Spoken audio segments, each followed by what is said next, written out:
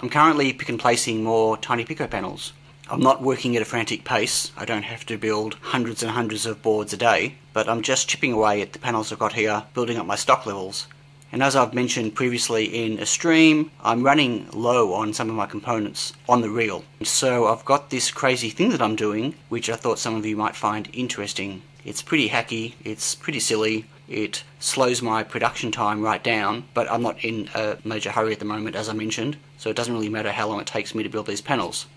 Here's another board that's on my pick and place machine, ready to go, and two of the components I'm running low on are my Pico D4s and my ProAnt antennas. But I do actually have a whole bunch of loose ProAnt antennas.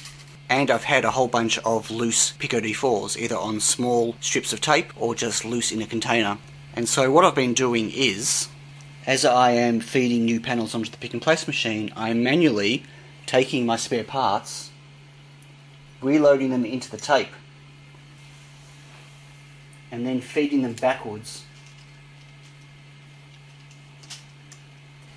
sometimes one at a time, sometimes two or three at a time. Now, I can only do so many at a time because the cover tape that gets pulled back gets really loose as I feed it back through, and so components will jiggle around behind here and they'll fall out.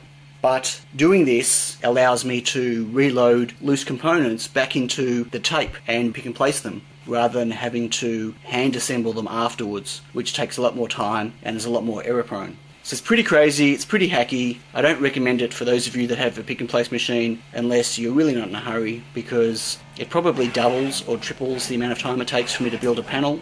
I'm really only doing it on the larger components. As I said, my Pico D4s, my antennas, I was doing it on my CP2904s before I switched reel because I had a whole bunch of loose ones. But it's pretty funny. For me, it's pretty funny. I find it amusing that I'm scrounging around my parts doing it. But the truth is, I'm trying to make what I've got last as long as possible. I do have reels of new components on the way, but I've got a limited supply here, and using up parts this way makes sense to me when I'm not in a particular hurry. I thought I'd share. I thought you might find it interesting. It's what I call a P&P hack, and it works for me. Okay, thanks for watching. I'll catch you next time. Bye.